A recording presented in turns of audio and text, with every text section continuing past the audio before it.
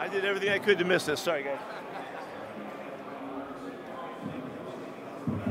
West Coast, the East Coast? It was West Coast, yeah, it got me.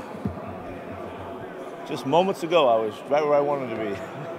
All right, what's up? I think the last time we talked to you, Coach, uh, you were saying you were not intending to trade Russell Wilson. And then, uh, of course, you did. What kind of happened? Things evolved.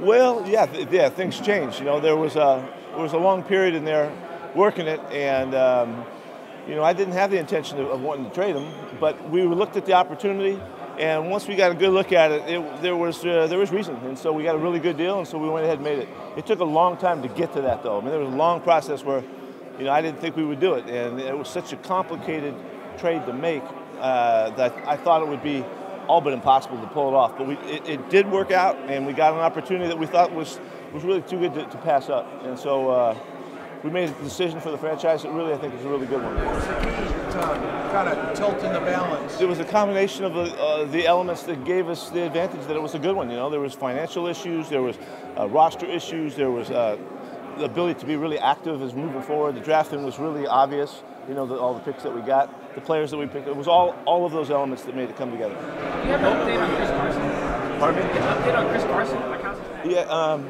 Chris is feeling pretty good. He, you know, he's making progress. He's looking forward to playing. He thinks he's going to be able to pull it off. You know, so um, we're, we're looking optimistically at it. Um, he won't know until he gets back and really gets going. He, physically, he'll be able to run around and all that kind of stuff. It's whether or not he can take the hits and all that kind of stuff. We'll just have to wait and see.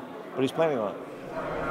What went into the decision cut, cutting Carlos Dunlap and Kerry Hyder and sort of, I guess, the way it feels like you put together? Well, you, you can see we, we, we put together a, a different group, you know, is, is what's happened. You know, getting Jenna was really a, a big deal to us. Seeing the development of Darrell was, was important to us. Um, we, we thought that we could make a shift there, and obviously there's always the financial issues. Those are, the decisions that fall into the category of the really tough ones this time of year. Who's point in that, that group? But you've had him here before with. No, well, yeah, I think I hope you can see that the combination of what we've done uh, with, with Quinton coming in and, and also Shelby, there's a whole group there that we're really excited about that gives us a, a different kind of flavor and, and, a, and a complement to the big guys that we like playing in the early downs. You know, so it's uh, the whole. It's, it's really those four guys plus the, the ability to move that thing around with Alton Robinson as well, and we'll see how that all fits. But it looks like it's a big it's a big change for us. How much will, I, I guess, would the average fan be able to see that you're playing more 3 4 than 4 3 next year? It's not going to look that much different. I've heard some of our guys comment as you've asked them as they've been, you know, been introduced to you. It's not going to look that much different because we already play the concepts. We've been doing it for a long time.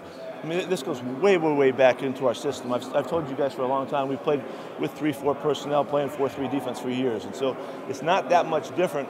However, however, we are we are shifting a bit of our emphasis to the style of player that we're trying to get on the outside. It's, it's, uh, so you see that happen. You said that Daryl is like the ideal body type for that position. Clint has said that you guys don't really plan on dropping those guys back. If that's the case, why do you why do you have to have that certain body? They- They will still drop though. They- They'll be in the system because it's when you're into the three-four realm of defense. Those guys do drop some, and so we want guys that are capable to do that. And uh, but they won't, like Clint said, we're not going to do a lot. We want guys coming forward, we want guys rushing the passer more. So there'll be a, a bigger emphasis on that. Going back to Chris a little bit, uh, I think during the Chris Carson during the year, everybody said the same thing. He likes to see how he responds to the hits. I think he was like during practice. When he got to do physical contact, I think on like a Thursday. How did he feel after that practice? he didn't have his confidence. He, he wasn't confident that he, that he felt good enough. You know, that, that's re- really what it got down to. He just just wasn't. He didn't have the feeling like he'd go ahead and take on the hits that he needed to at the time. He felt uh, there was actual, you know, some sensa- sensations you know, that he felt that, that cued him that he, you know, he shouldn't go. Now, I guess you can't really try that again until what training camp. Yeah, it's going to take a long time, unless unless just the activity gives him some indicators. You know, Have your conversations with Colin Kaepernick continued to regress since the last time you spoke publicly about it? He said he's still hopeful of an opportunity there. yeah, our conversations have not progressed the early connection that we made. Um, I've watched a bunch of his workouts and stuff. He sent me stuff along the way to kind of keep me up with what's going on. He's, he's really working hard. He's all over the country, traveling around, you know, getting his workouts in. So he's still he's still competing for it. Is there any judgment that can be made from what he's doing? Is there any judgment that can be made from what he's doing? I mean, it's you know going against air. I mean, it, can you really gather anything? From that? Yeah, you can see. Yeah, you can see that he can. He's running around. He's throwing the ball. You can tell the distance that he's throwing the ball. You can get a sense for the velocity. Um, there's comments from the players that he works out from. So he's getting some information out. He's doing a nice job, you know, presenting himself. If he still feels away when Denver goes to Seattle this year, what do you think it'll be like when Russ comes? When Russ comes to Seattle this year with him, what do you think that game will be like? It'll, I don't know. It'd be kind of a classic. You know, it'd be a nice little matchup. Some quarterbacks, one is Drew Lock, two uh, Uh, when Drew came out of college, you know, we made our, our assessments and evaluated him for the drafts and all that. We saw him as as a big, strong-armed, mobile, aggressive, athletic quarterback, and uh, he had thrown a ton of footballs. He had been in a very aggressive program, you know, where you got to see him do everything. All he used the entire field. We saw all of that stuff and really liked what we saw. We can still see that. We see that right now when we watch the film, and so. Uh, unfortunately for him, he's, he's you know he's been in, in his play has come about where there's a lot of turnovers in this game, and that just doesn't fit with us. But we just have to fix that. We have, we have, to change his mentality and do the things that we can do to help him, you know, be his best. There's nothing that we see there that doesn't show us that the potential is there. So he's a he's in a developmental mode as he, as he enters our program, but yet he's already been through three years of in and out of activity. He's played a lot of football, and so we think we can capitalize on that. And uh, you know, there's really we see what we're seeing now. We see all upside. What have you learned about him in the little bit of time you've been around? He's a really good guy. He's really um, balanced. He's got a, a, a clear mentality about him. He's um, he's positive. He's a positive, optimistic kid. Uh, he's looking forward to being a great player. That's what he, he's come into the league. He's all, that's the only way he's ever known himself. He's been in a kind of a mode where he has not been able to recognize the person that he knows himself to be, and so he's really he's really driven to, to take in all of the information. He's he's, done, he's doing everything right. He's doing everything right. So. Uh, I can't wait till he starts throwing with our guys and we get some feedback on that, just how, how they, they sense him. But we know that he, we know that he's he's presenting himself to be successful. He's doing everything he needs to.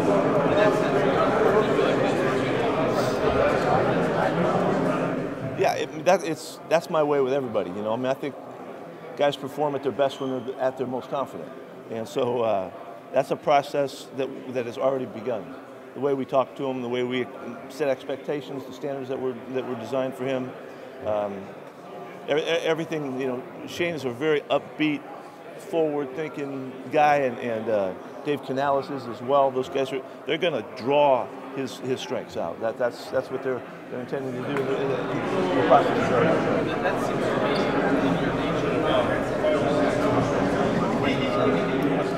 Yeah, that's that's how I've been coaching my entire life. You know, it's been about seeing the potential that somebody has, and then and then doing everything we can to to bring it to life. You know, and so I'm a guy. If you show me all of the plays of a, of a player when he does well versus the plays when he does poorly, I'm looking at the ones when he does well. I'm looking at what he's capable of doing. I'm trying to figure out how to make that come to life rather than worry about the stuff that's the negative. This is a classic example. I mean, it's a classic opportunity for us to turn a guy's career around, and uh, we're very optimistic about doing that because we know we know how to do that, and we know that we he'll be in an environment where that's all he'll feel. So. Um, there's just a really good chance he's going to be able to really take the most out of it. You brought back to in the NFL and the consistency. How, how much did that factor in with you guys bringing back Justin Coleman and re-signing? Justin Coleman was a was a classic, uh, you know, nickel corner. He was he was tough and physical. We had seen him at New England. We traded for him at the time. He came in and did really well. He got paid a bunch of money when he went on, you know, and so he comes back around with a whole world of experiences to add to it. But the core of who this kid is, he's a tough guy. He competes his butt off. Uh, he, he's a great guy to have in your club. He contributes on special teams as well. He's played a lot of corner too, and- he's been in a lot of difficult situations, particularly at Miami, uh, in his one-on-one matchups and the way that they played him. So we've seen him really clearly, and uh, he just brings an element of competition that's exactly what we need. Corner is a position that took a sorry. That was a position that took a while to get settled last year. How do you feel about that group overall, the cornerbacks, just the guys you've added, the guys you brought back? Yeah, we feel pretty confident that we know what we got. Um, I know we didn't see a lot of Tre Brown, but we, but we, we feel like we got a, a good feel for him. He, he he just did not take any side steps along the way. You know, we just had to just believe what we were seeing and give him enough opportunities. So he, he's there. Sidney coming back. Sidney really developed and his confidence really showed. So we feel strong about what he can do as well. Um, so we'll, we'll, see how this position continues to grow. Artie Burns is coming in. Uh, we've got background on him. We've coached him before uh, with, with, our guys, um, and he's a, a, premier athlete for, for the position.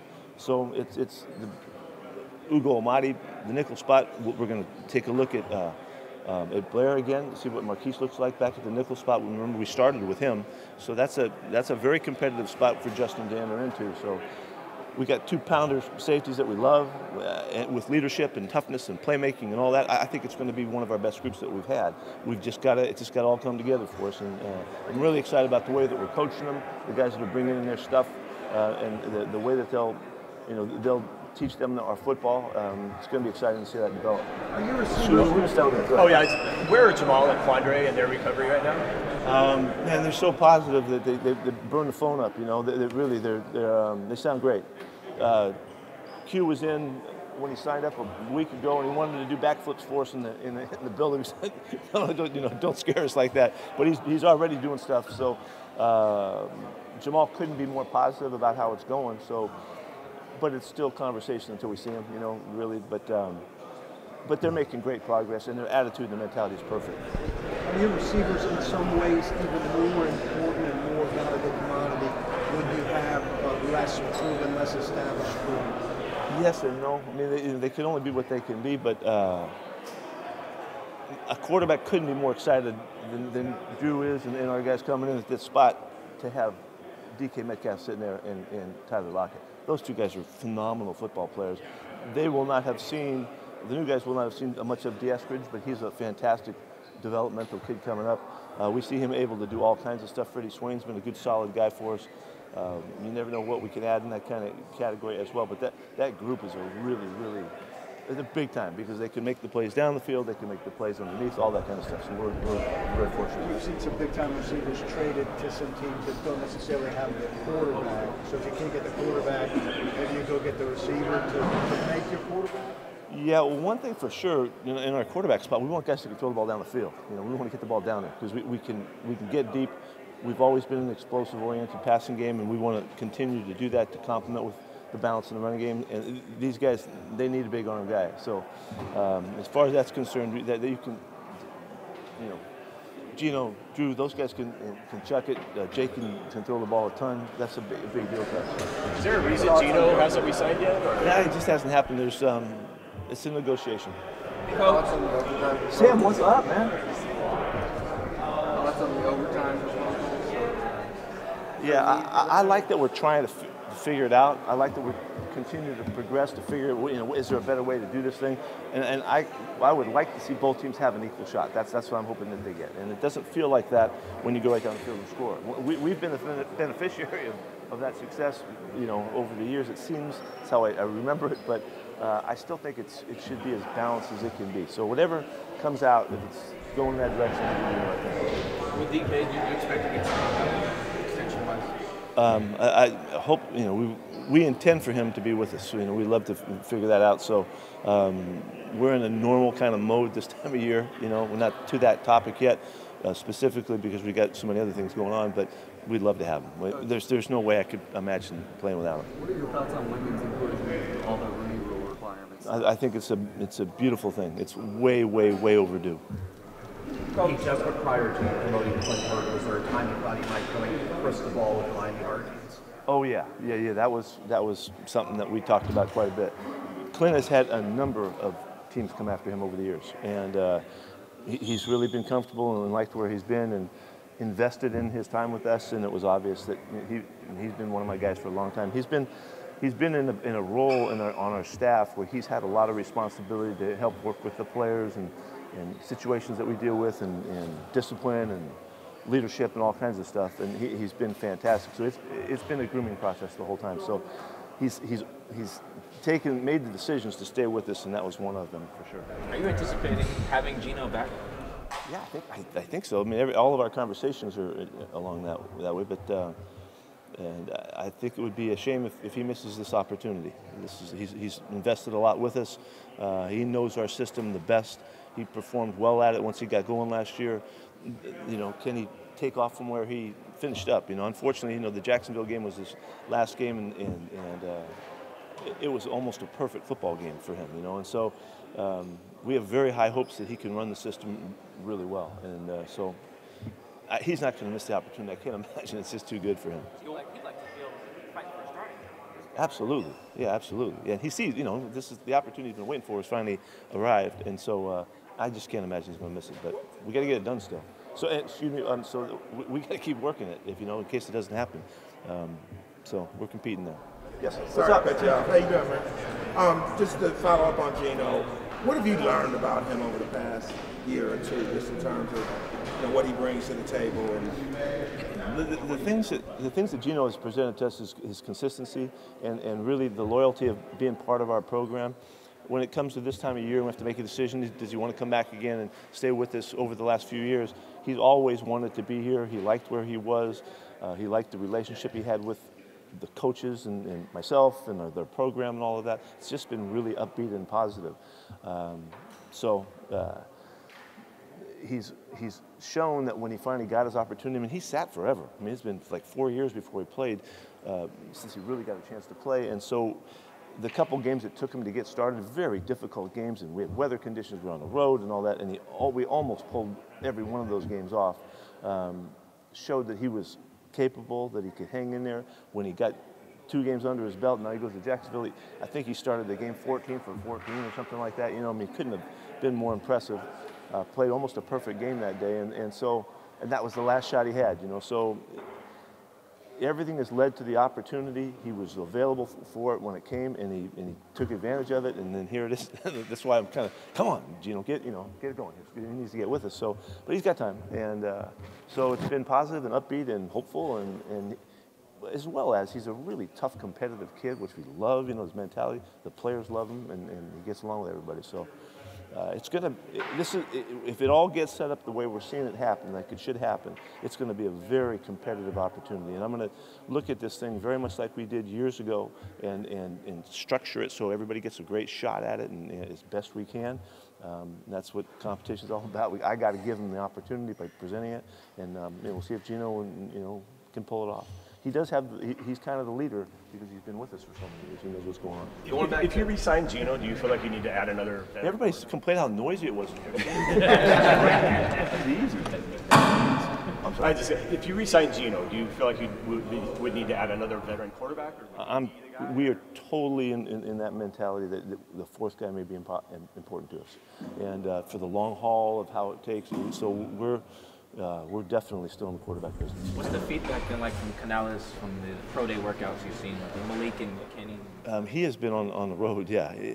Everything has been uh, good. We haven't put, sat down to put it all together because he wasn't back when we left. So I, I, don't have all of the final on it. It's just kind of the updates and that it's working out okay. And we catch him on the film every day to make sure he's there, you know, in the workouts. Um, but it's gone well, and it's really an important part of it, that, that, all that he brings back to us. So I just haven't been able to sit down. Going all the way back to 2012, what do you remember about scouting Russell ahead of that draft and the conviction that John had in him? Um, well, yeah, I remember everything about it. Um, what do you want to know? Are there any interesting stories that stand out about the scouting process or about about how, how convicted John was in it? What those um, well, he's convicted as he think about it. To, to, take a guy that everybody else passed up with the conviction that he had was because he had done his work and he had seen him and he, and he had uh, he had enough information that excited him about the prospects, regardless of all of the whatever the, the naysayers were, were, putting out there, you know. And, and uh, so when when we made the move, um, we did make the, the, move with conviction, you know, and we loved the fact that he was an all-around athlete and he showed a lot of the, the baseball background and all that kind of stuff. It's, it's, very similar to as we look at Drew. You know, Drew's got the, the background of a, a, a diverse, uh, you know, effects in the sports that he's played. He's a big basketball player and a very, I mean, he could have played college basketball, you know, and that's a big statement for a guy athletically and, and his background. It's, so it, it's those kinds of things that, that John had found, you know, by uncovering all of the, you know, important stuff. So It's, it's, it's just a similar, regular, normal process. There was nothing unusual about it. It's just that he was impressive enough that we, you know, we took a shot at him, and then he proved, proved that he was worthy. Just to clarify, Pete, you said that you were still in the veteran quarterback business, even if you have Geno. Well, I said we're in the quarterback business. Right. Yeah. Okay, and so what uh, traits would you still be potentially looking for to add, you know, as far as the depth of that position? Yeah, well, there, there's. It depends who, who we're talking about because there's a variety of things that guys bring. Some guys bring their own personal style, and uh, I have guys in mind that I'm thinking about, so I'll try to do the best I can for you. The, um, um, they have their own personal style that they add something, you know, and so this quarterback position is, is one that they come in different shapes and sizes and, and different makeups and backgrounds and all of that kind of stuff. Do they have the magic? You know, so we're looking for the, the magic that allows them to come through, uh, to be the player that's when the challenge is at, at hand, they're at their best. Um, whether it's you know, two minutes or end of games or red zones or you know third downs or that kind of stuff. So um, we have to be at this time. We're it's available to us to be wide open uh, to the variety of different you know kind of makeups that guys bring. I'm apologizing. Do you feel that uh, veteran is still out there to be had? There's some veterans still out there to be had. There's still, still some guys out That there. you're interested in? Yeah. Yeah, there's some guys out there. Yeah, we're still looking. Yes. You're hey, Coach, what, what do you think of Mike McDaniel's prospects as a head coach after facing him so often? H- His work has been extraordinarily obvious. He's been really, really good, and, and uh, the, his name has been bubbling up for some time now. You know about his effect and what they've done. They've been such such a, a unique running football team, and he was in charge of all that stuff.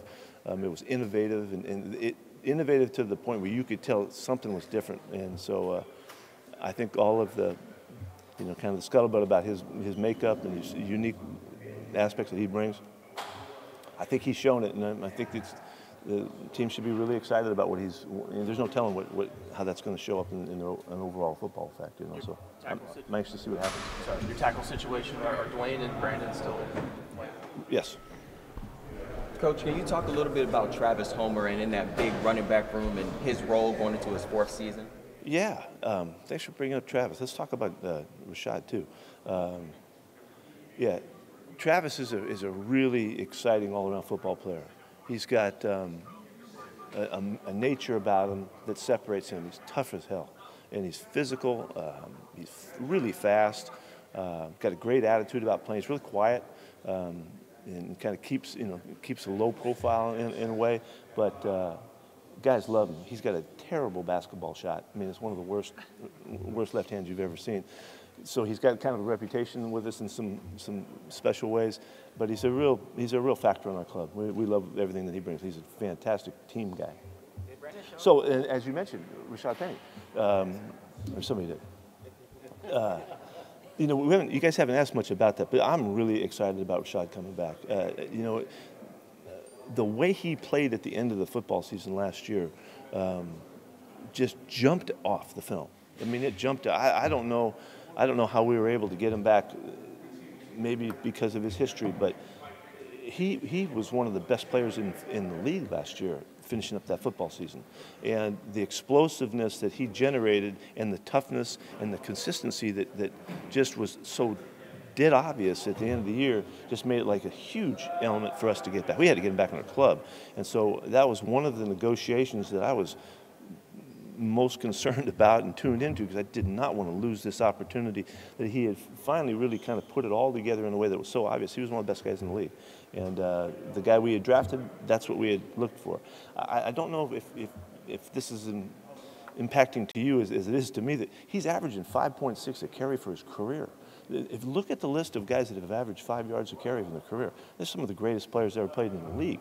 Incredible players, and uh, and he's got a better average than Gale, and he's got a better average than Jim you know, Brown. I mean, it's, I mean, it's crazy that he's got those kinds of numbers, but that shows us that he's always been explosive. He, throughout his years, he just hasn't been able to find the consistency. So the fact that now that it looks as though we've had that accomplished, and he's had this offseason, this offseason's underway where he's in great shape and he's working out, and he's mentally in a great place and, and building towards this season. Uh, I'm as excited about that element of our football team as, uh, as anything that we have coming back. And so uh, um, he's going to come back. He's going to get the first shots. He deserves it. He, he's earned it. And, uh, um, and if we can get he and Chris back there battling, that one-two punch is like it's, it's all I could hope for. And it's what we've envisioned. We just haven't been able to see it uh, as much, and, and, he's been frustrated about it. But that frustration has, has put this chip on his shoulder that is exactly the kind of chip that you like, and, and so uh, I'm really, really pumped up about this one. So, thanks for asking. Real question about him. How do you balance his history of being hurt so much with really well. You know, I mean, just, just I can't even tell you how good we'll do that. On your mind when he's 15, 20 touches or 70? No, no, we're gonna. I'm gonna go with, you know, with the information. I don't have any concern about figuring that out. We've been doing that for a long time. How, to how to do that. So, the information will come flowing back, and we'll we'll, we'll just feed off of how he looks and how he does. Uh, it's no different with any running backs that we've had over the years. Um, I think it's an openness that's important to, to see because they're not always the same guy in every game and, for whatever reason. And that's what we've learned. So we go with who's hot and who, who's most effective.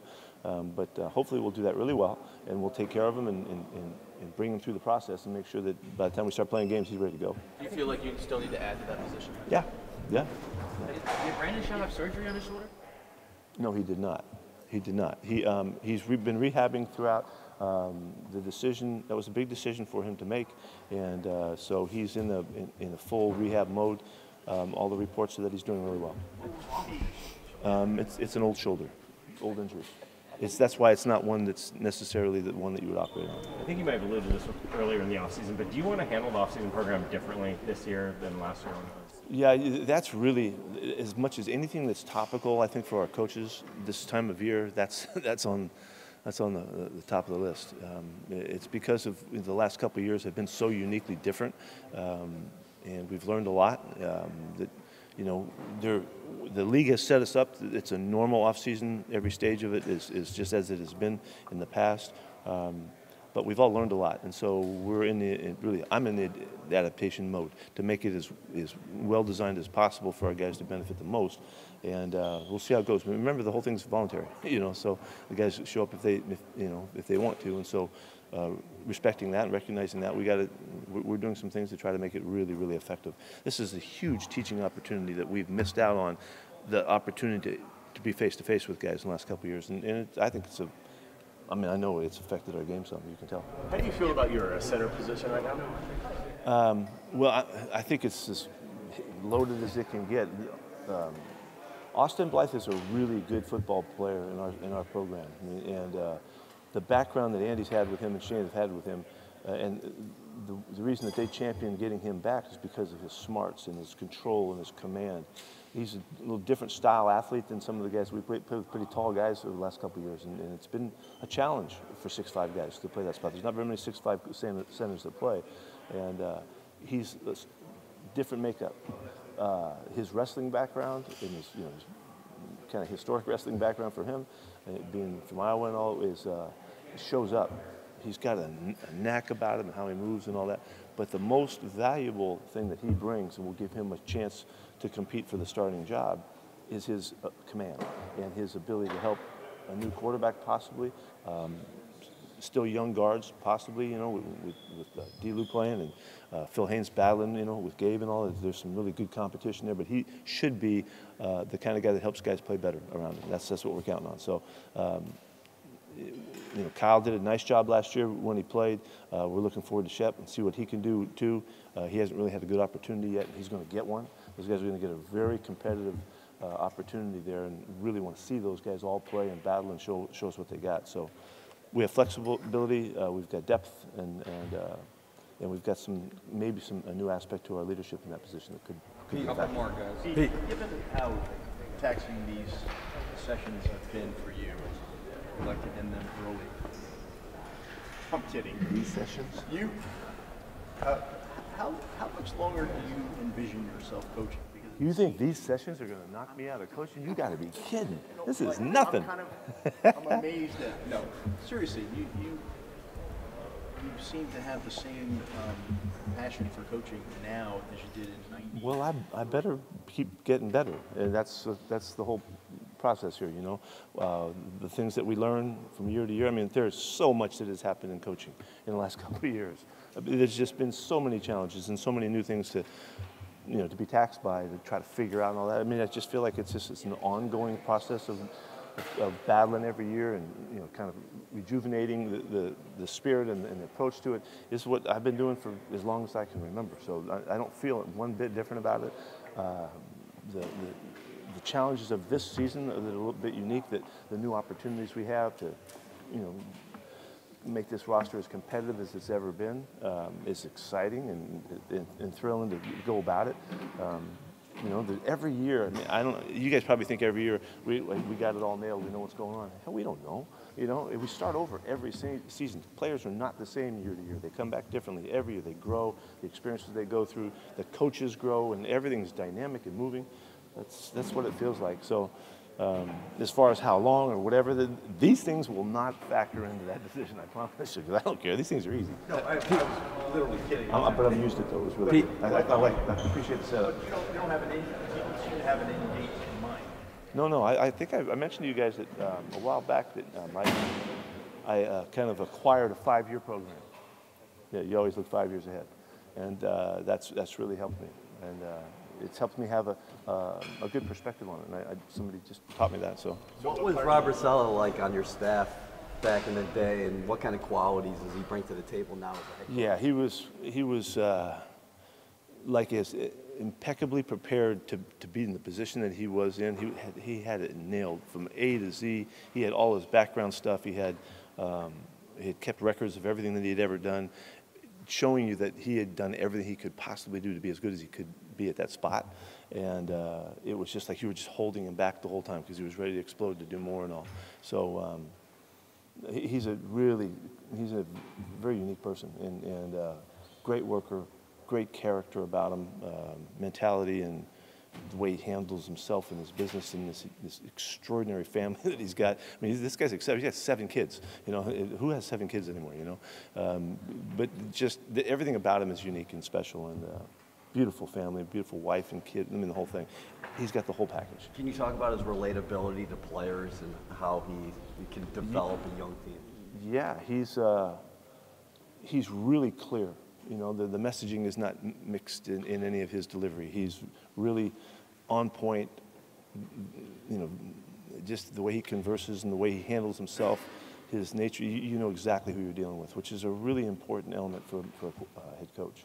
Uh, there's a lot of issues, there's a lot of challenges, and, and, he will not get knocked off course. He'll be who he is and be true to himself, and that'll give him a chance to be successful early through the difficult challenges. You know. So, what, what, did uh, Russell's early success as a rookie do for maybe influence on how a uh, rookie can come in and play point guard in your system?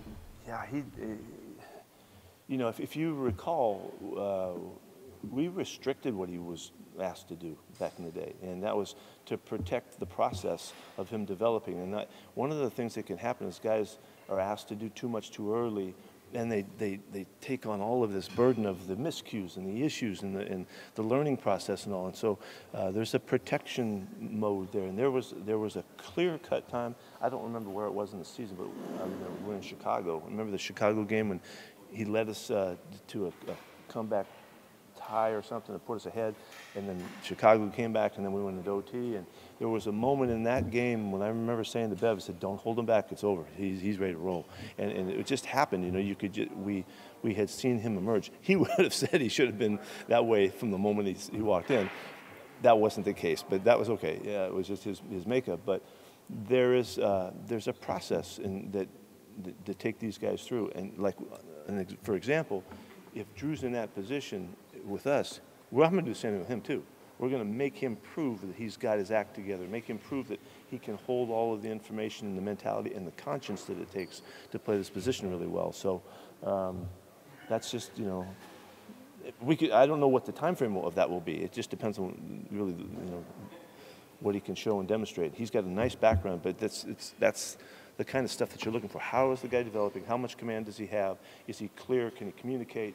Uh, can you trust the, the process that he's in, you know, engaged in to allow him to play really effectively? That, that's that's what this is all about. So. The proliferation of seven on seven at the high school level made quarterbacks more ready absolutely, to do that. Absolutely, yeah. The coaches, the coaches know so much more about. Remember back in the day that coaches were afraid to throw the football. You know, Woody had told everybody that there was three things bad every time you throw the football that could happen. You know, and so, but that's not the case anymore. I mean, coaches, clinics, uh, seven on sevens, uh, all of that stuff happening in, in you know, middle school and, and on up, Pop Warner and on up is just so much different now that the guys are, the guys are way more prepared. And, and uh, so, I mean, it's just an evolution that's, that's taking place. And so, yeah, they are pre- more prepared and they can go farther sooner. And, and your expectations can be really high because of all that. What are they better at because of seven on sevens? Concepts? Okay, here, here's the deal. When I used to think about this with Matt Barkley, when Matt Barkley was coming up, Matt had been uh, at Mater Dei had from the time he was a freshman quarterback there. He'd been the, like the only guy that was throwing. He threw curl routes when he was like 10 years old. A curl flat route. The guy runs in a flat, guy runs a curl route. It's exactly the same curl flat you run in the NFL in the championship game. It ain't any different. It's still five step drop and 10 to 12, and here he goes, and he's fitting inside linebacker. That curl route he was throwing when he was in seventh, sixth grade you know? So sixth grade, seventh grade, eighth grade. Then he gets to high school and he throws every pass for four years at Mater Dei, one of the best high schools in the, in the country. Every single day, every single seven on seven, he just acquires millions of reps. The whole 10,000, you know, is, is in effect there. And so there's nothing you can do about that, you know. It's just, it's just, they can't hold them back. And so that's, the, that's why the guys are so much better, you know, and, and they're getting coached so much better, so much earlier, all of that. So. Look, this guy drew his live hit. we good? Hey, sorry about being late. I was sound asleep.